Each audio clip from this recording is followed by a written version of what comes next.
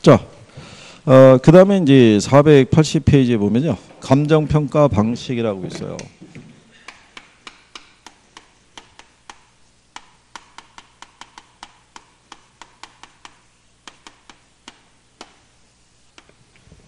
음, 감정평가 방식을 보면요. 방식이 원가 방식이라는 게 있고요. 비교 방식이라는 게 있고 그 다음에 수익 방식이라고 있어요. 아, 얘는 비용성의 사고에 입각하고 있고요. 얘는 시장성, 얘는 수익성의 사고에 기초하고 있어요. 이걸 삼면성이라고 얘기를 해요. 세 가지를. 요 삼면성이라는 게 각 세 가지 방식의 특징, 장단점을 잘 반영해 주고 있는데 이 삼방식 이 감정 평가 방식은요. 이론으로 낼 수도 있고요. 계산 문제로 낼 수가 있는데 근래 출제 패턴은 거의 계산 문제로 나와요. 계산 문제로. 근데 계산 문제는 별로 기대할 거는 없어요. 근데 간단하게 푸는 요령이 있는 애들은 또 풀어주면 좋긴 좋아요. 근데 그건 이제 선생의 욕심이고 왜냐하면 패턴이 틀려요. 여기서 저하고 할 때는 내용이 되게 간단해 보여요. 근데 시험장에 들어가서 문제를 딱 부딪히면 생각이 안 나요. 어떻게 접근해서 풀어야 되는지를 그게 기억이 나야 되는데 그걸 하려 그러면 무진장 많은 뭐를 해야 돼요. 반복을 해야 되는데 그럴 수 없죠. 그게 쉽지 않으니까. 그래서 그러면 뭐라도 기억해 줘야 되냐면 얘가 비용성이고 시장성이고 수익성이라는 거는 지난번에 이건 이렇게 해드린 거 기억하시죠? 에? 이거 이거 드링크 해갖고 이 카드로 사고 수수료 얘기했고 그죠? 그러면 여기서 가격 구하는 방법이 있죠. 임대료 구하는 방법이 있고요. 가격을 구하는 게 있고 임대료 구하는 방법이 있어요. 아, 여기도 가격 구하는 게 있고 뭐가 있다. 음, 여기 가격 구하는 방법이 뭐예요? 어? 김총과 이거 가격 구하는 방법이 뭐야?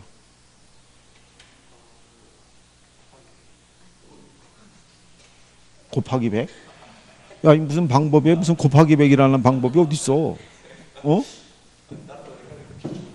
자, 잘 보라고. 생각이 안 나면 무슨 방식이야? 원가법. 얘는 적산법. 그 다음에 여기 가격 구하는 거. 김총각 여기 가격 구하는 거. 야, 여기 제목이 뭐야? 그러니까 거래 사례 비교법.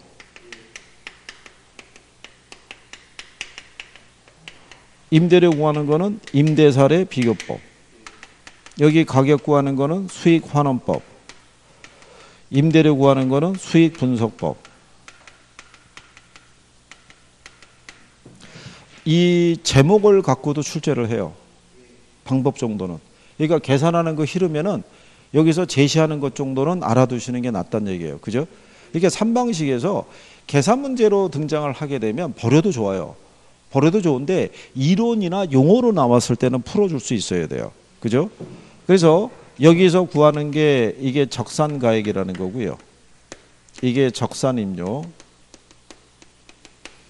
여기서 구하는 게 비준가액. 이게 비준임료. 이게 수익가액. 그 다음에 수익임료.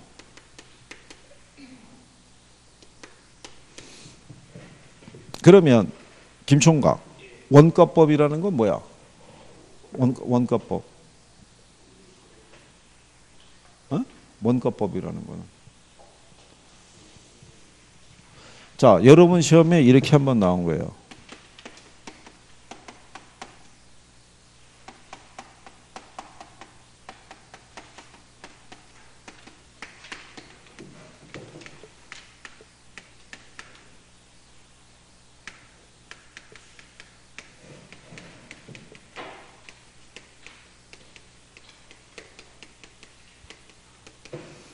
이렇게 원가법이란 제주도할 원가에 기억을 해서 대상 물건의 가액을 구하는 방법이다. 그럼 기억이 뭐예요? 감가 수정을 해서 이건 어디에 있는 거냐면 감정평가 규칙상의 용어에 있는 거예요. 용어. 용어에 있는 거를 출제를 해요. 그래서 그런 내용 정도를 어, 구별하는 게 필요하신 거예요. 그죠?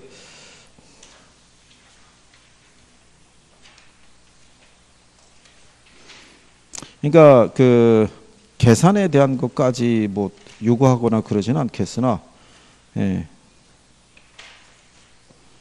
우리 교재상에서는 그러니까 어, 521페이지 한번 가보세요. 521페이지 가시면 예, 거기 감정평가 3방식 나와 있죠. 예. 자, 다음은 감정평가 방법에 대한 설명이다. 가로 안에 들어갈 내용으로 옳은 걸 물어봤죠. 521페이지. 예, 거기 보시면 원가법은 대상 물건의 제주달 원가에 뭐를 해서 감가 수정을 해서 그렇게 나오죠. 그 다음에 거래사례비교법을 적용할 때 니은이 있죠. 예, 사정 보정, 시점 수정, 가치 형성 요인의 비교, 또 수익 환원법에서는 장래 산출할 것으로 기대되는 순수익이나 미래 현금 흐름을 환원하거나 할인해서 이게 다 감정평가 규칙상의 용어에 있는 거예요. 용어. 그 용어를 기초로 해서 출제를 하는 거예요. 를 그러니까 그런 내용 정도는 음, 알아둬야 되는 거예요. 계산적인 사고는 여러분들이 그거를 지금 적용하시기는 쉽지는 않다고요.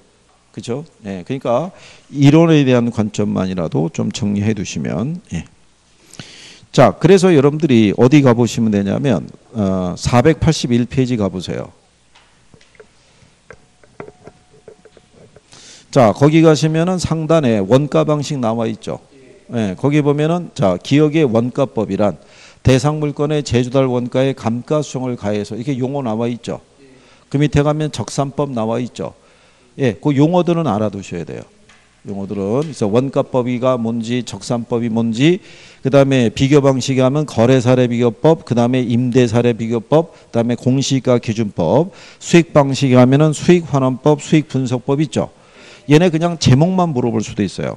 가로치기 해가지고 예, 그러니까 표현에 좀 익숙하시면 돼요. 표현에 그리고 가격을 구하는 건지 임대료를 구하는 건지를 구별할 수 있어야 돼요. 이해하시겠나요? 예, 그러니까 오히려 그렇게 해서 문제가 나오는 게 여러분들에겐 유리한 거예요. 계산으로 물어보지 않고. 근데 작년에는 3방식에서 세 문제 언급을 했을 때 다 계산 문제로 물어봤어요. 이거. 자, 그 다음에 여기서 구한 적산 가액이나 비준 가액이나 수익 가액 있죠. 얘들은 다 전부 다 시산 가액이에요.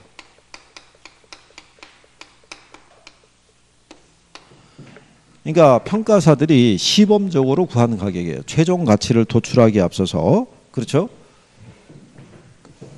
그래서 얘네는 뭐를 거쳐서 조정을 해서 최종 가치를 도출을 해야 돼요.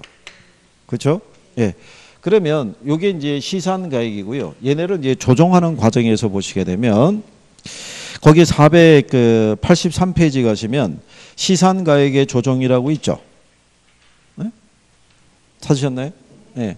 자, 3방식의 병영이라고 하면 뭐라고 해놨냐면 자, 가격 삼면성에 의해서 부동산의 가격은 시장성, 비용성, 수익적인 측면에서 파악돼야 하기 때문에 3방식을 병영을 하게 될 때 이론적으로 보면 장기적으로 삼면성에 의한 가격은 일치한다. 즉 삼면 등가성이 성립을 하더라 이런 얘기예요. 근데 그거는 완전 경쟁 시장에서만 성립이 가능하고요. 현실적으로는 3방식에 의한 시산 가액은 일치하지 않기 때문에 조정 작업이 필요하다 이런 얘기예요. 그래서 그게 이제 무슨 얘기냐면 알프레드 마샬이라는 사람이 얘기한 삼면 등가성의 원리가 있어요. 장기적으로 보면 비용성의 사고에서 구한 가액이든 시장성에 의해서 구한 가액이든 또 수익성에서 구한 가액이 장기적으로는 다 일치한다는 논리예요. 그게 삼면 등가성의 논리인데 근데 현실적으로 물건을 만들 때 들어간 이 비용이 있죠. 네, 이거하고 시장에서 거래되는 가격이 있죠. 이게 항상 일치하진 않죠. 그렇잖아요. 그러니까 현실적으로는 삼면 등가성의 논리가 성립할 수가 없어요. 부동산 시장이 불안전한 시장이고 삼방식 모두가 단점이 있기 때문에 그러면은 이게 서로 틀리다는 얘기니까 조정을 해야 된다는 얘기죠. 그렇죠? 예. 그럴 때 거기 보시면 483구 하단에 가면 시산가액의 조정이 있어요. 조정 방법을 보시면 시산가액의 조정은 감정평가 3방식에서 구하, 어, 구해진 세 가지 가격을 단순히 산술 평균하는 것이 아니고 그죠? 이 평가 시 사용된 자료의 양, 정확성 및 적절성 등을 고려해서 각각의 방법에 가중치를 두어서 가격을 결정하는 거예요. 그래서 이걸 조정할 때 산술 평균한다 그러면 맞다 틀리다. 예, 네, 이거 틀리는 거예요. 가중 평균해야 돼요. 예, 그리고 물건의 성격이나 사, 어, 사용된 자료의 신뢰도를 고려해서 주된 방법을 기준으로 하되 다른 방법으로 그 합리성을 검토를 해봐야 된다라고 얘기를 해요. 그러니까 무슨 얘기냐면 자 우리가 건물의 가액을 구할 때는 무슨 방법을 써서 구해요? 건물, 건물, 어? 건물 뭐로 구해요? 셋 중에 뭐? 건물. 위에서 놀아봐 위에서 적상가액 원가법으로 구한다고 뭐라고 한다고요? 그런데 예로 구한 이 금액 이거를 다른 방법하고 다른 방법으로 구해서 비교해 보라는 거예요. 무슨 말인지 아시겠어요? 그런데 한 가지 알아두실 거는 어, 여러분들이 그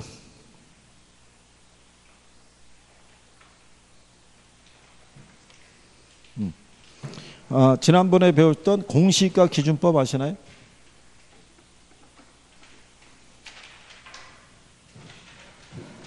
자, 여기 보시면 비교 방식이 있죠. 거래사례 비교법이 있죠. 임대사례 비교법이 있죠. 여기에 뭐도 들어가냐면 얘도 들어가요. 뭐도? 어, 얘도 포괄적으로는 비교 방식 안에 놓는데 얘를 뭐를 할 때 조정을 할 때는 공시가 기준법은 서로 다른 방법으로 본다는 거예요. 같은 그냥 거래사례비법하고 똑같은 방법이 아니라 서로 다른 방법으로 취급한다 이런 얘기예요. 그래서 그 얘기가 거기 484페이지에 가시면요.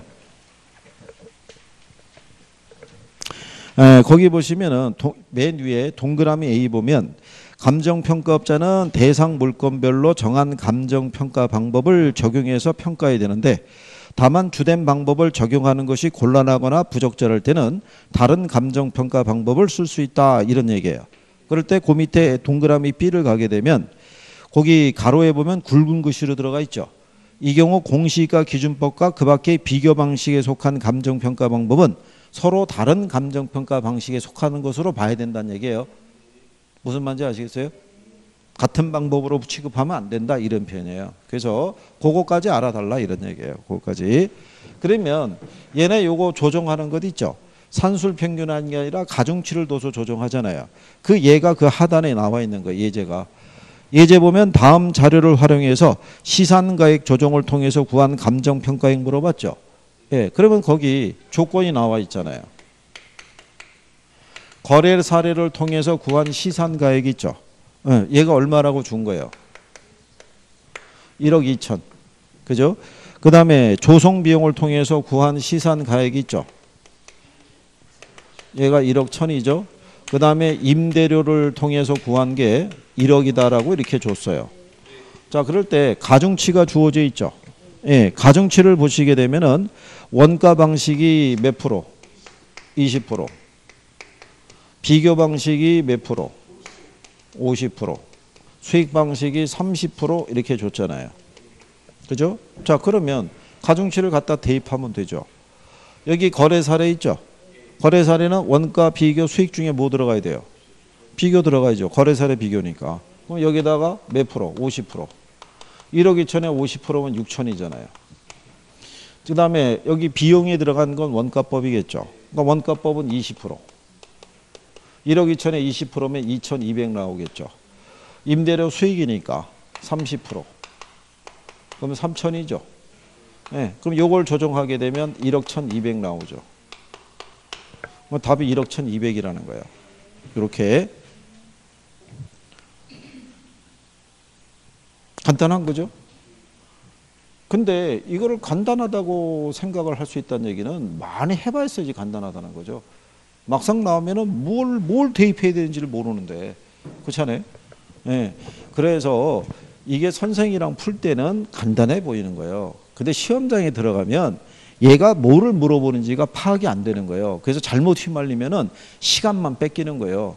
그러니까 그 부분에 대해서 그렇게 크게 낙담하지 않으셔도 돼요. 자, 일단 여기서 알아두실 거 얘네 그러니까는 용어 정도는 알아두셔야 된다는 얘기고. 그죠? 예. 그 다음에 얘네들이 다 시산가액인데 조정할 때 무슨 평균하면 안 된다? 산술 평균하면 안 되더라.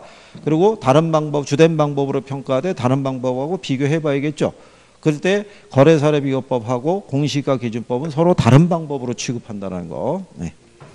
그리고 이제 또 뭐 한 얘기지만 그 작년에 그 강의할 때 뭐라고 해드렸냐면 원래 토지 가치는 공시가 기준법으로 구하도록 돼 있어요. 근데 감정평가 규칙이 개정이 되면서 적정한 실거래가가 있으면 거래사례 비교법을 통해서도 토지 가치는 구할 수 있다 이렇게 단서가 붙은 거예요. 그래서 작년에 강의할 때 뭐라 그러냐면 혹시 계산 문제가 나오면 공시가 기준법으로 구하라는 문제가 안 나오고 거래사례 비교법으로 가격을 구하라고 문제는 출제가 될 수 있다. 계산 문제로. 그래서 그거를 문제를 달아본 거예요. 쭉 해서 예상할 때. 근데 그게 나온 거예요. 거래사례 비교법으로 구하라고. 어? 근데 나오면 뭐 하냐고요. 접근이 안 되는데.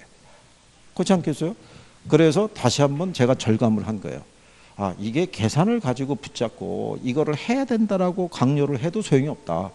이거는 차라리 그러면 걔들은 버리더라도 용어나 이런 걸로 나오는 거는 맞춰줄 수 있어야 되잖아요. 그죠? 그게 더 확실하니까. 그러니까 이거 지난 기출인데 아 이거 못 풀었다고 그때 당시에 내가 이런 거 못 풀어 이런 건 아쉬워할 필요가 없어요. 그죠? 나오는 거 앞으로 맞추면 되죠. 자, 그 다음에 이제 아, 원가 방식으로 가는 거예요. 아, 원가 방식 우리가 이제 어, 비용 접근법이라고 얘기를 하고요. 거기 보면은 이 가액 구하는 게 무슨 법이에요? 원가법이에요. 원가법. 그죠? 예. 여기도 기본적인 것만 해보시자고요.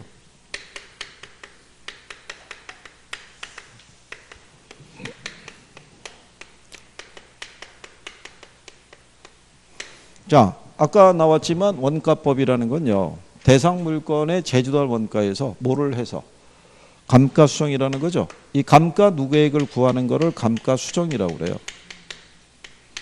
음, 이거를 가해서 물건의 적산 가액을 구하는 건데 이건 논리가 어떤 거냐면 이런 거예요.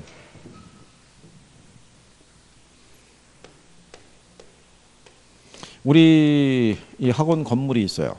근데 얘가 20년 전에 준공을 했대요. 근데 우리는 이 물건의 가치를 이 시점에서 가치를 구하고 싶어요. 이 건물의 가치를. 그죠? 그러면 2019년 오늘이 5월 3일인가요? 네.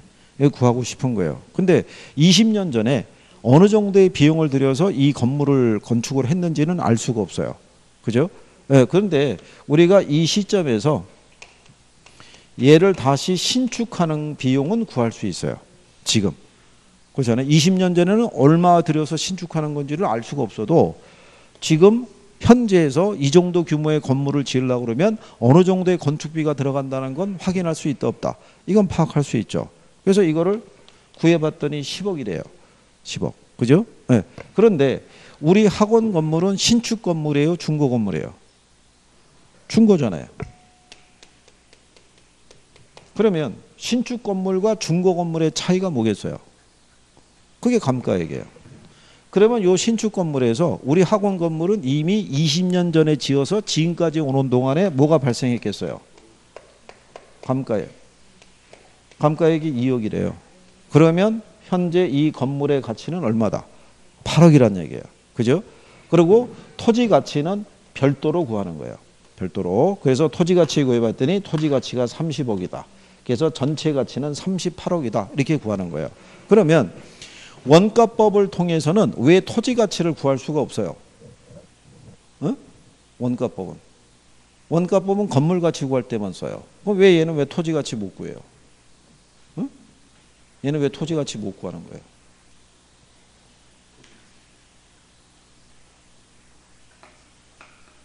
아니 여기 보시면 얘가 여기에다가 이거 적용해서 구하는 개념이죠.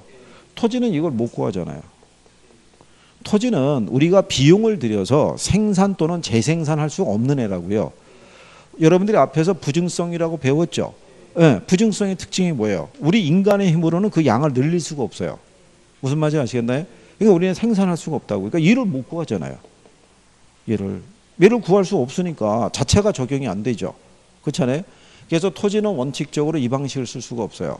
다만 예외적으로 조성지나 매립지 있죠. 걔는 조성 또는 매립하기 위한 비용이 들어가잖아요. 그러니까 그 비용 산정에 의해서 걔들만 예외적으로 구할 수 있지 원칙적으로 토지 가치는 원가법으로는 구할 수 없는 거예요. 무슨 말인지 이해하시겠죠? 예, 그런 내용인 거예요. 그래서 여기 있는 원가법에 대한 게 신축 원가에서 감가를 빼면 적산가액 나오죠. 그러니까 이게 감가 삼각된 가치예요. 무슨 말인지 아시겠죠? 그러니까 중고 부동산의 가격이라고요. 그러니까 얘는 얘를 넘어설 수는 없어요. 얘가 신축 원가잖아요. 얘가 중고잖아요. 그러면 신축이 10억인데 여기서 감가 2억 빼면 얘가 8억 나올 거 아니에요. 그죠? 근데 얘가 만약에 11억 뒀다고 생각해 보세요. 신축이 10억인데 중고가 11억이다. 아, 그러면 새로 짓는 게 낫죠. 그러니까 여기는 적산가액은 뭐를 상한선으로 제주도 원가를 상한선으로 결정한다라고 얘기를 해요. 그러니까 여기를 벗어날 수 있다 없다. 벗어날 수 없는 거예요. 자, 뭐 이제 요거는 뭐 시험상에서 뭐 인용은 안 해주니까. 자, 그 다음에 어, 여기서 이제 잘은 모르시겠지만 요거는 이제 또 하나 알아두시는 게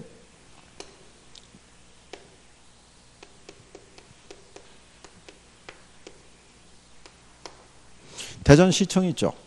네, 이거 매매할 수 있어요, 없어요? 이거 담보로 대출 받을 수 있다고 그랬죠. 네. 그러면 얘들도 가치의 평가가 필요하잖아요. 근데 대전시청은 이거 없죠. 이것도 없죠. 그럼 얘 가치 평가할 수 있는 거는 이거밖에 없는 거예요. 이거밖에. 그래서 아, 원가 방식의 장점 중에 하나가 거기 여러분들이 장점에 보시면 시장성이 없는 부동산 평가에 활용이 된다라고 해놨죠.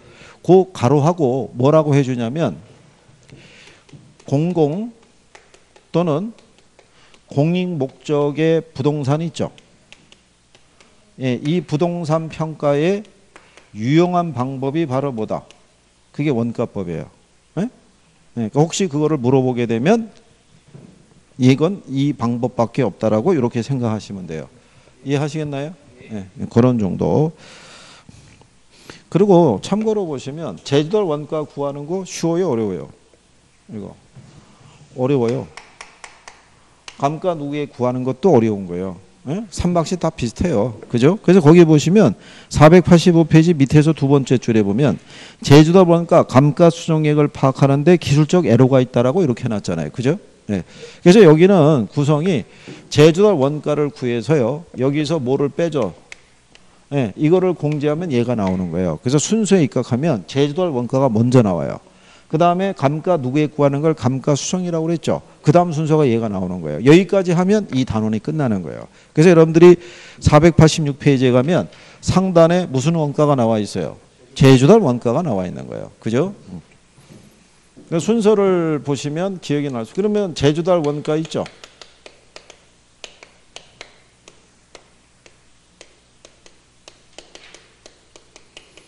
얘는 무슨 시점? 예, 기준점 현재 대상 건물에 무슨 원가 얘기해요? 신축 원가 얘기해요. 그죠? 그럴 때 여기 요 기준 시점이 있죠. 이거 신축 시점으로 바꿀 수 있어요, 없어요? 이거 신축 시점으로 바꿔서 쓸 수 있어요 없어요? 바꿔서 어? 안 되는 거예요. 감정 평가로 들어가면은 다 시점은 얘 하나밖에 안 써요. 예. 그 시험에도 출제를 하는 거예요. 이거를 신축 시점, 준공 시점 이렇게 나오면 다 틀리는 거예요. 항상 무슨 시점밖에 없어요. 기준점 하나밖에 없는 거예요. 기준점. 음, 그거 기억하시고 예, 그 다음에 뭐 종류 있고 이런 거는 저긴데요. 그 밑에 가면 얘를 산정할 때 있죠.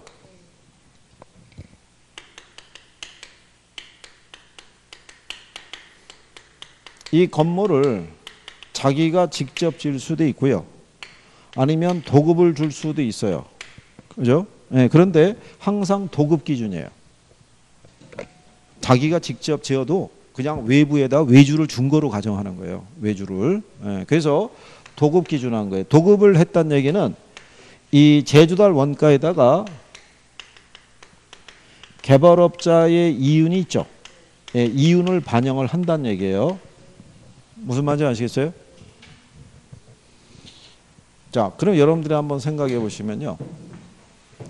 얘가 신축할 때 10억 들어가잖아요. 10억. 그죠? 그럼 얘는 이 비용에서 가치 결정이 되는 거예요. 감가가 2억이죠. 근데 얘 신축할 때 20억 들어간대요. 그럼 감가 2억 빼면 얘가 18억 될 거 아니에요. 근데 비용이 30억 들어간다면 28억 될 거 아니에요. 그러니까 짓는데 들어간 비용이 많으면 많을수록 가치가 커지는 거예요. 그러니까 어디에만 초점을 두는 거예요? 비용에만. 근데 얘가 신축할 때는 10억인데 얘가 시장에서 거래가 되는 어, 시세 있죠? 시세는 15억이래요. 그러면 거래사례 비교법은 얘가 유사한 부동산이 시장에서 거래되는 가격을 기준으로 가치를 추계하잖아요.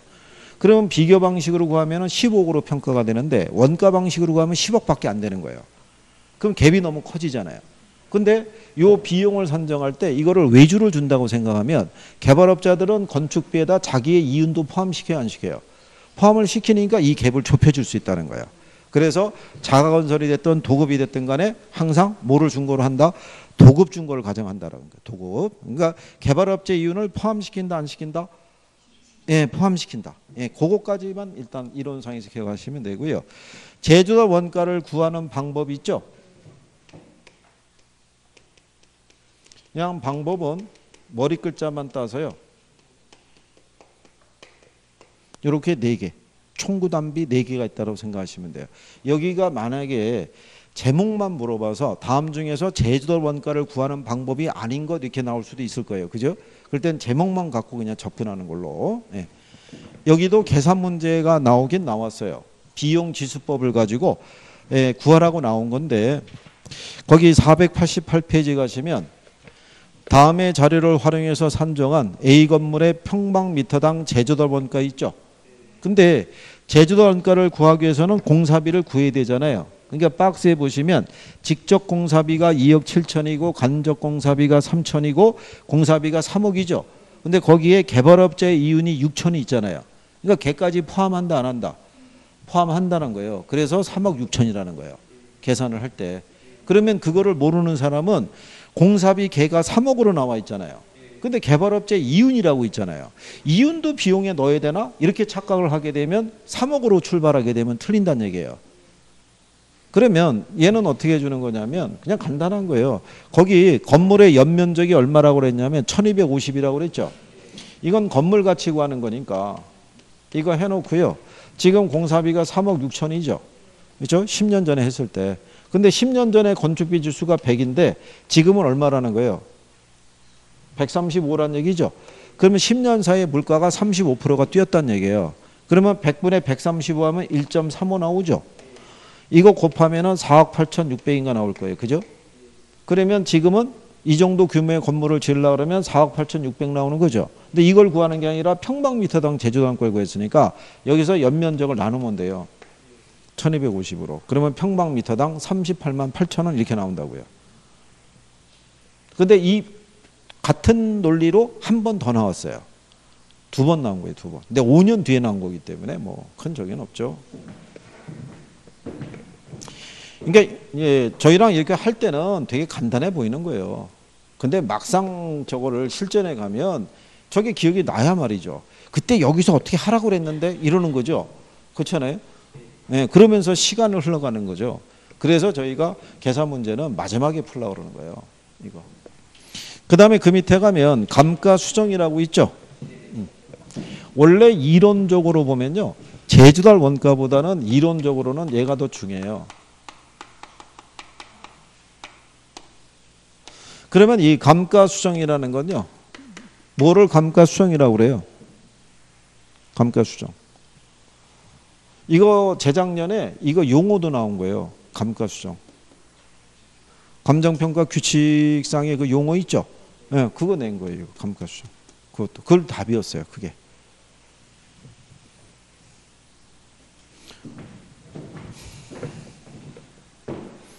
자, 거기 보시면 의 나와 있잖아요. 의. 예. 자, 감가수정이란 대상 물건에 대한 제주도할 원가를 감액할 요인이 있는 경우에 물리적, 기능적 또는 경제적 감가 등을 고려해서 그에 해당하는 금액을 어디에서 공제하라고 그래요? 제주도 원가에서 공제하라고 얘기하죠. 그래서 기준 시점에서의 대상 물건의 가액을 적, 적정하는 작업을 말한다고 해놨잖아요. 거기 보면은 공제라고 해놨죠. 음, 이거를 가산이라고 틀리게 준 거예요. 빼야 되는데 뭐 하라고 더 하라고 그렇게 해서 틀리게 출제한 적이 있어요. 그게 그러면 자 여러분들이 보시면 이런 얘기잖아요. 여기 보면 자 제주달 원가에서 감가 누계를 공제하면은 얘가 나오죠. 그렇죠? 그러면 얘는 무슨 가격이에요? 중고고 얘가 신축이라고 그랬잖아요. 그러면 신축과 중고의 차익이 뭐예요? 감가. 이거 구하는 거예요, 이거. 그래서 감가액을 산정하는 게 바로 뭐다? 감가 수정이라는 거예요. 어디서 공제해서 제주도 원가에서 공제해서 그죠? 네. 그래서 이게 감가액을 구하는 그런 개념이에요. 그러면 감가액을 산정하기 위해서는 여러 가지 감가 요인을 적용할 수 있죠. 네. 그래서 감가 요인은 물리적 감가라는 것도 있고요. 기능적 감가라는 것도 있고 경제적 감가라는 것도 있어요.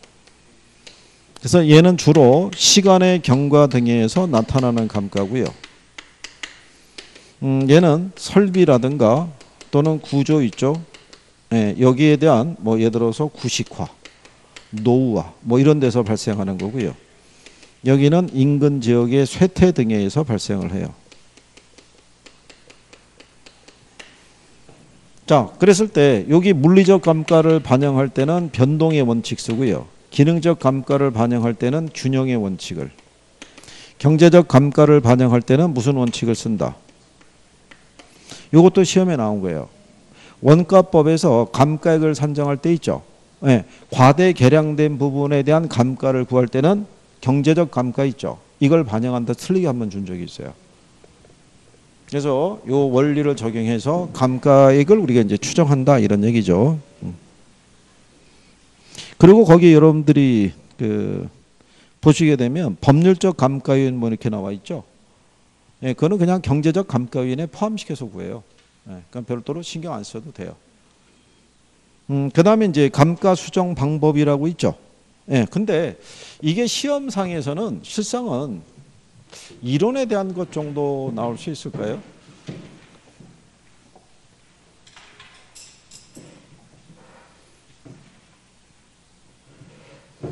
어, 원래 이 감가 수정 방법 어, 이게 감가 수정 방법을 보시면 원래 감정 평가 규칙상에서는요. 이게 내용 연수를 기준법이라는 게 있고요. 그 다음에 관찰 감가법이라는 게 있고요. 그 다음에 뭐 분해법 또는 내구성 분해 방식 이렇게 되기를 해요. 뭐 이거 말고도 뭐 시장 추출법이라는 것도 있고요. 그 다음에 임대료 손실 환원법이라는 것도 있어요.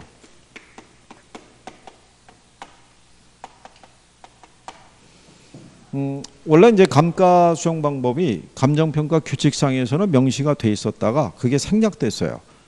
건물의 이 감가액을 산정할 때는 내용 연수를 표준화한 방법으로 구해봤다가 그게 적정하지 않으면 관찰 감가법 등을 적용해서 구할 수 있다 이렇게 해놨는데 그 조문은 삭제는 됐어요. 그러니까 규칙상에서는 명시는 안 돼 있어요. 근데 이론적으로는 존재한다는 얘기죠. 이론적으로. 그래서 내용 연수를 기준하는 방법이 정액법, 정률법, 상환기금법 이렇게 하니까 그래서 여기까지는 뭐 시험상에서 등장한 적은 없어요. 음, 여기 정도 이제 지문 정도로 나온 거고 계산으로 문제가 등장했다 그러면 여기 정해법은 건물 등의 상각 자산의 감가액을 구하는 거고요. 얘는 어디에? 기계류 등에. 얘는 광산 등에 쓰는 방법이에요.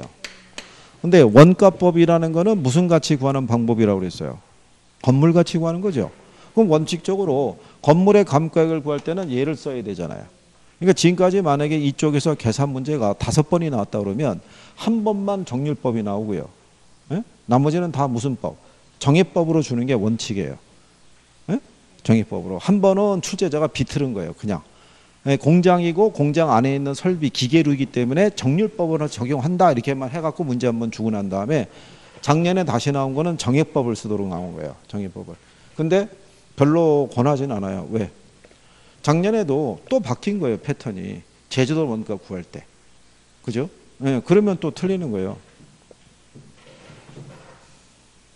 그래서 다만 이제 정해법으로 구했을 때는 가장 예, 쟤를 왜 서- 선호하는 이유가 뭐냐면 계산이 간단해요.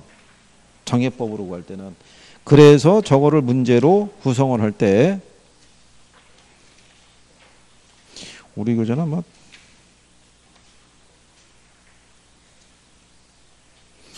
어, 524페이지 가보세요.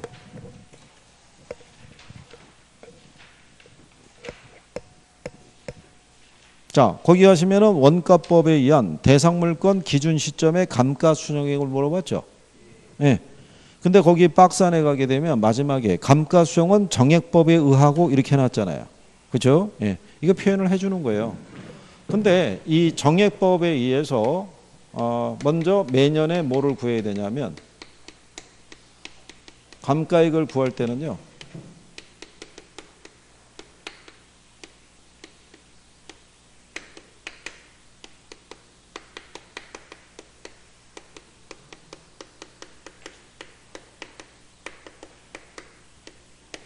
이게 매년의 감가액 구하는 공식이고요. 그래서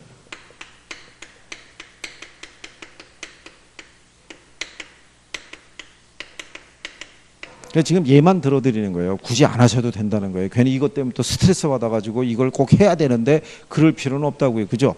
그 여기서 제가 지금 이렇게 풀어드리는 것도 있죠. 받아 적기 바쁘면 소용없는 거예요. 예전에 학창시절에 수학 시간에 다 해본 거예요. 그죠? 수학 선생님이 칠판에다 판석 막 하면서 막 풀잖아요. 그럼 막 학생들 따라 적기 바쁜 거예요. 그죠? 근데 그거는 단순히 칠판에 있는 거를 어디로? 노트로 옮겨 적은 것밖에 안 되는 거예요. 그거를 이해하는 학생은 따라 적질 않죠. 가는 과정에서 풀이하는 과정을 본다고요. 그러지만 걔들이 나중에 문제가 바뀌어도 그걸 풀 거 아니에요. 그죠?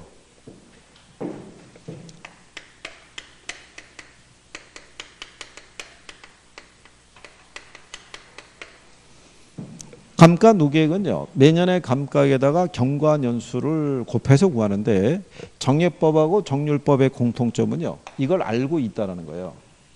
그러니까 경관 연수는 여러분들에게 준다 안 준다 줘요. 거기 문제 박스에 보시면 준공 시점이 2009년이죠. 근데 기준 시점이 2014년이죠. 그럼 지은 지 몇 년 경과한 거예요? 야, 야 2009년에서 그 이 기준이 2014년이면 어? 5년 됐을 거 아니야, 5년. 그지? 아니 왜 꼭 이 교실만 들어오면 계산이 안 되는 거야, 암산이. 나가면 잘하시는 분들이 여기만 오면 이 경과 년수가 몇 년이라는 거예요? 어, 그러니까 이렇게 준다고요, 이렇게. 그 뭐만 구하면 돼요?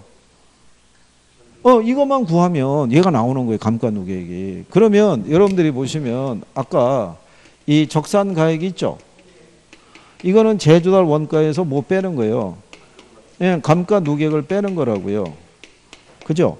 예, 그러니까 얘를 구하는 순간에 거의 답이 나오는 거예요. 예? 그럼 여기 보면 경제적 내용 연수 있죠. 몇 년이라고 그래요? 그런데 한 가지 알아두실 거는 경제적 내용 연수는 경관 연수하고요. 잔존 내용 연수의 합으로 돼 있어요. 그러니까 얘를 구할 때 그냥 경제적 내용 연수로만 줄 수도 있고 경관 연수하고 잔존 내용 연수로 줄 수도 있어요. 지난번에 강의할 때더 차이를 설명을 해줬다고요. 예? 경관 연수라는 게 유효 경관 연수가 있고 실제 경관 연수가 있다라고 구별해줬다고요. 기억하나요? 실제 경관 연수는 뭐냐면 김총각 올해 나이가 몇 살이야? 이게 실제라고요. 태어나서 지금까지 몇 년? 25년. 그렇죠? 근데 우리 김총각이 25이라고 그랬을 때 주변의 반응이 틀린 거예요. 어? 25이야? 야, 나는 10대 후반으로 봤어. 이렇게 봐주는 사람이 있는 반면에 그래? 야, 나는 30대 후반으로 봤어. 이렇게 볼 수도 있어요, 없어요? 있다고요. 그게 무슨 연수냐면 유효 경관 연수라는 거예요. 건물이라는 것도 지은 지 몇 년 됐느냐를 기준으로만 판단하진 않아요. 관리 상태에 따라 건물의 가치는 틀려질 수 있는 거예요. 무슨 말인지 아시겠어요? 근데 계산적으로는 그게 조정이 안 되니까 관찰 감가법이라는 건 평가사가 직접 가서 관찰해서 그 격차를 조정해 주란 얘기예요. 무슨 말인지 이해하시겠나요? 그래서 평가사가 직접 관찰해서 조정하니까 객관적이다, 주관적이다. 주관적이라는 거예요. 평가사의 능력에 따라 틀려진다고요. 그죠? 자, 그러면 이걸 왜 어떻게 더 주냐면 먼저 거기 옆에 7번 문제 가보세요. 7번 문제 가보시면 다음과 같이 조사된 건물에 거기 가격 시점이라고 해놨죠. 옛날에는 가격 시점이었고 지금은 기준 시점이에요. 예. 거기 안에는 기준 시점이 2005년이라고 해놨죠. 예. 자 그렇게 해놓고요. 거기 보면은 그 기준 시점 현재 잔존 내역 연수가 몇 년이라고 해놨어요. 48년이라고 해놨잖아요. 그죠? 그런데 기준 시점이 2005년이고요. 거기 건축비에 보게 되면 2003년에 준공했다고 했잖아요. 2003년에 준공해서 2005년이니까 경과연수가 몇 년이에요? 2년이죠. 그러니까 거기는 얘 2년, 이거 48년에서 50년이다 이런 얘기예요. 그러니까 50으로만 딱 주지는 않고 이렇게 나눠서도 줄 수 있는 거예요. 나눠서도. 근데 대부분 여러분들의 경제 내용 연수는 50년을 줘요. 예, 그 다음에 다시 6번 문제로 가게 되면 거기 하면 제주도 원가 줬죠. 얼마? 자, 2억으로 줬는데요. 거기 보시면은 내용 연수 만료 시의 잔존 가치율이 몇 프로래요? 10%. 100분의 10이니까 0.1이죠. 그럼 1에서 0.1 빼면 0.9 나오죠. 그럼 2억 곱하기 0.9 하면 1억 8천 나오죠. 그죠? 어, 얘를 50으로 나누면 360만 원 나와요. 그러면 360을 구했죠. 이거 5년 알고 있잖아요. 그러면 1800 나오는 거예요. 이게 답이에요. 이게. 그래서 거기 답이 2번인 거예요. 그런데 자 무슨 내용이냐면요. 이게 재조달 원가를 구할 때 저걸 따로 또 구하라고 할 수도 있어요, 없어요? 구하라고 할 수도 있는 거예요. 그렇게 나오면 틀린다고요, 또. 재조달 원가를 못 구하기 때문에. 이거는 단편적으로 나오는 거예요. 그러니까 선생님 입장에서는 변화되는 것까지 다 적용하기는 어려운 거예요. 그냥 이 정도로 나온 거는 시험 운이라고 밖에는 볼 수가 없어요. 근데 이것도 하려고 그러면 뭐를 많이 해야 돼요? 연습을 많이 해야 되죠. 그래서 이렇게 구하는 게 정해법의 사고라고 보시면 되는 거예요. 자, 다시 본문으로 돌아오셔서 음, 그래서 방법 중에서 계산에 대한 거는요. 정해법에 대한 정도 보시고 정해법으로 구한 감가액이 적정하지 않을 때는 아, 정률법이나 아, 다른 이 분해법이나 이런 것들을 쓸 수 있다라고 생각하시면 돼요. 네, 그래서 그런 정도 음. 정리하시면 돼요. 그래서 거기 492쪽에 가면 어, 관찰 감가법이라고 있죠. 예, 그래서 여기는 아, 평가사에 대한 어떤 이제 주관이 개입되거나 관찰되지 않는 부분을 반영하기 곤란하다는 단점이 있다라고 해놨죠. 예, 그래서 거기는 그 정도까지 기억하시면 돼요. 음. 그래서 이 방법은 무슨 방법에 개입이 크다, 주관성의 개입이 크다, 뭐 이런 정도로 인식하시면 돼요.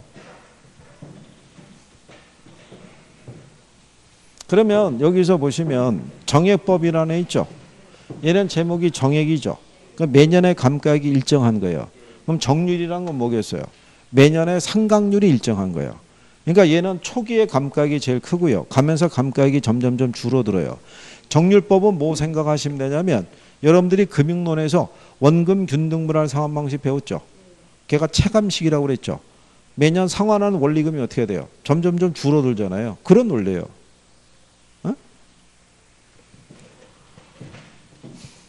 자, 이게 정액법이면 여기 있는 요 정률법 있죠. 네, 정률법에서는 매년의 감가액을 산정할 때요. 이게 전기말 미상각 잔액에다가 여기에다가 상각률을 곱해서 구해요. 얘가 정률이라는 건데 가령 예를 들어서 어떤 기계의 제조달 원가가 1억이에요. 그리고 상각률이 5%예요. 근데 어, 경과 연수가 3년 경과됐대요. 그럼 감가액 산정하라고 그러면 첫 해가 됐을 때 지금 어, 제도원가 1억이죠. 그럼 상각률이 몇 프로예요? 5%. 곱하면 되니까. 그러면 1억에 5%면 얼마예요? 500이잖아요.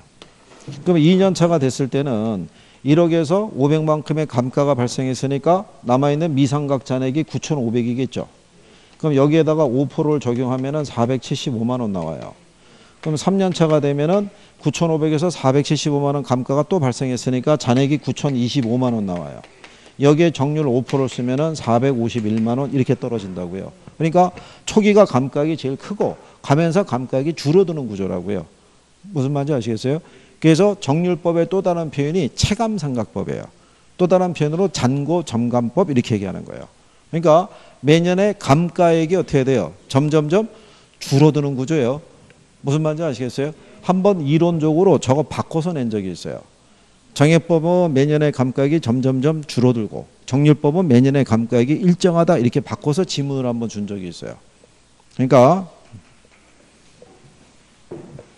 아 그리고 요세 가지 방법 중에서 유일하게 복리에 따른 이자를 발생하는 건 상환기금법 하나밖에 없어요.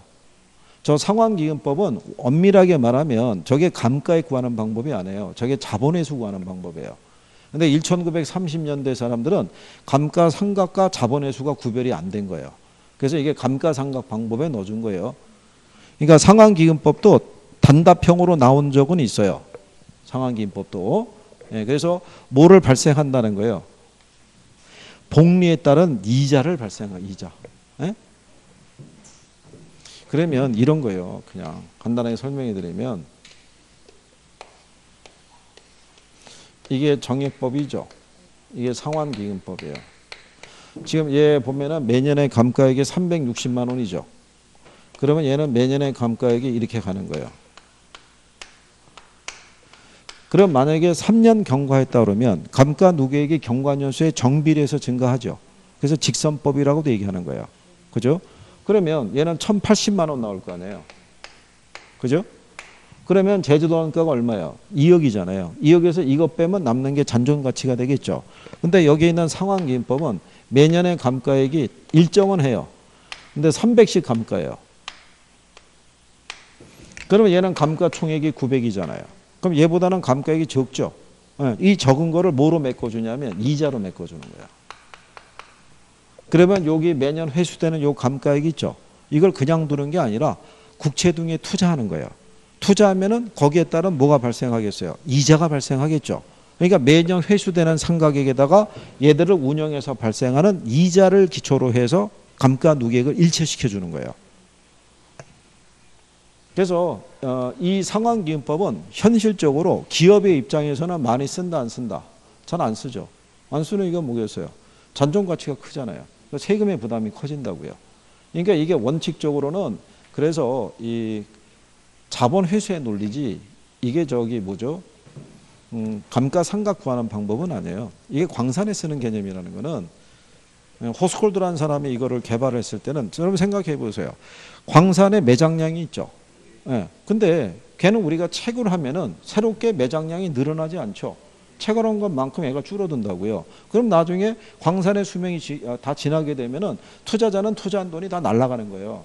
그러니까 그 자기가 투자한 기간 중에 투자비를 회수해야 될 거 아니에요.